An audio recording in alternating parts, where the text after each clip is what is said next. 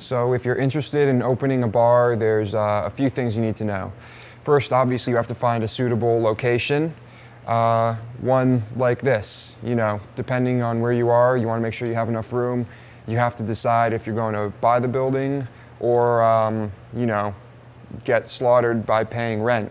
Um, I think it's always better to own the building, but you know, maybe if you have a friend, you can get a good deal. Um, you have to, you know, get all your equipment before anything, uh, and along with the equipment, you have to have employees ready to go by the time you open. Uh, once you have all your equipment and your employees, you need to um, secure your distributors, and distributors is how you get all your alcohol. Uh, and if you have a kitchen and if you have food, that's, uh, that's a whole lot of work too, because the food distributors are separate.